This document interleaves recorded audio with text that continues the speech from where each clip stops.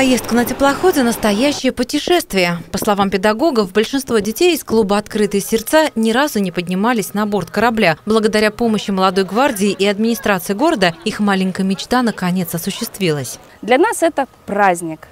Праздник детства. Мы этой поездки ждали все лето. И э, сегодня все ждут э, таких эмоций от этого мероприятия. Мы никогда не катались на корабле, особенно еще поездка э, до дельфинария на теплоходе.